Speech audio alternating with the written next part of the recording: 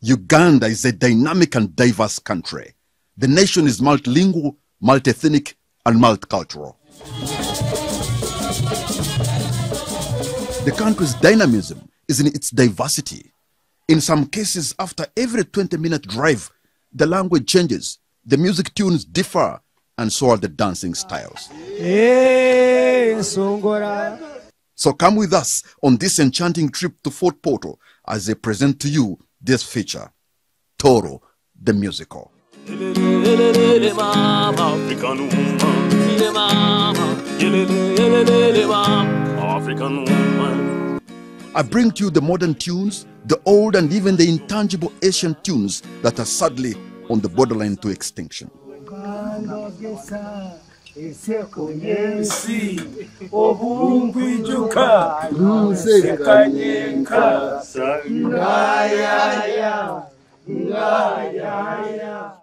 In this song, Orevzina Eviente, there's an inextricable link between the praise for the beauty of a woman and a cow. Yes, you heard me right. The Batoro of ancient times equated the striking beauty of a lady to the gracious nature of a cow.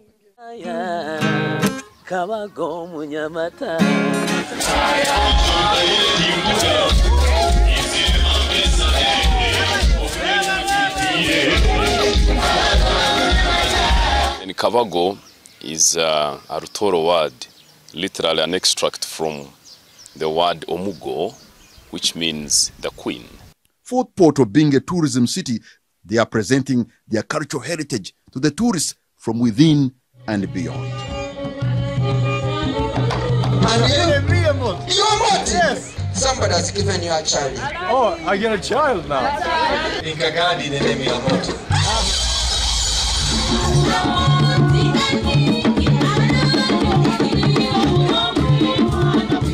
Dr. Stephen Kajura, a retired veterinarian, has built what he calls the Empaako village. Here, people born outside the region and wish to get a slice of the local culture will be given pet names at this picturesque village, complete with an upcoming cultural museum. we have uh, an amphitheater Okay.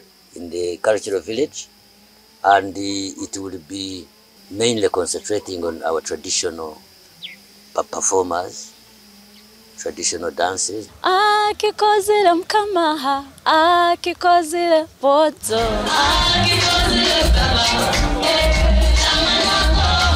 Irene wanted to sing about her hobby, coming home for the marriage Kwanjula ceremony, but her song has become so sensational, she's booked almost all weekends months in advance.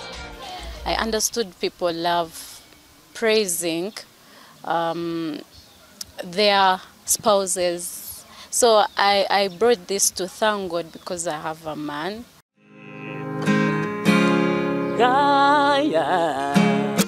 For decades, it was known Batoro could not produce modern music, but now, not anymore. They have shattered the glass ceiling thanks to the efforts of local artists like Atwoki Richie, a teacher by profession, and Irene. Hollywood, Atwoki Richie's song Kabago has been Toro's most successful social export, especially to Ankole. bona barungi nkamata bayita amaiso g'omugo wasirwege His TikTok challenges attest to his success. Richie and Hinder have been in the music industry trenches for a while.